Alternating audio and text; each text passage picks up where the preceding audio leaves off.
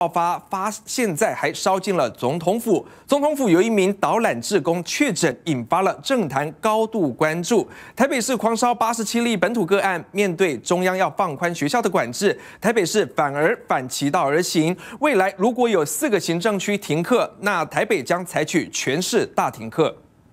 本土疫情大爆发，经传总统府也有一名导览职工确诊，而这名职工是在二号时连假期间和友人出游，有人先确诊后，这名职工随后 PCR 也确诊。不过，所幸他在连假收假后，并没有回到总统府，初步研判对总统府暂时没有影响。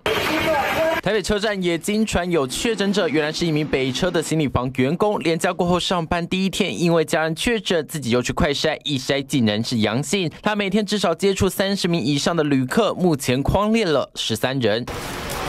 北市七号一口气新增了八十七例本土个案，至少二十四校上万名学生大停课。指挥中心说，打算放宽校园管制措施，减少学生停课，但台北市高标准管制。该行政区里面有三分之一的学校停课的话。该区都会停课，也就是四个行政区已经达到停课的话，全市是确实有可能会达到全市停课的标准。中央地方不同调，专家说国小学生根本无法打疫苗，中央放松管制，后果难以想象。开放之后，十二岁的小孩子大量的传染，他的 ICU 住院率也比较多，加上死亡率也有一点高。